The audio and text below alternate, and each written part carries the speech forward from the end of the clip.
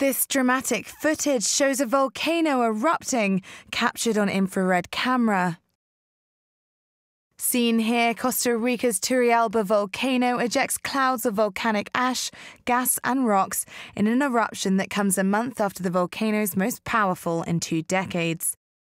One that forced the evacuation of residents from the surrounding area.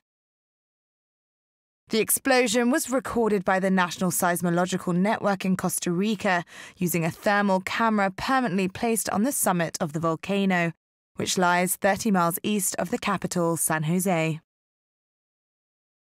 The video has been sped up to provide a rare glimpse of what a volcanic explosion looks like, up close and personal.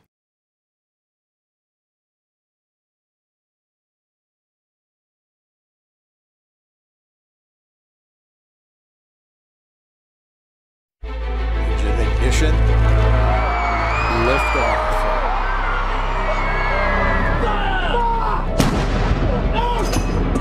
If you don't represent women in politics,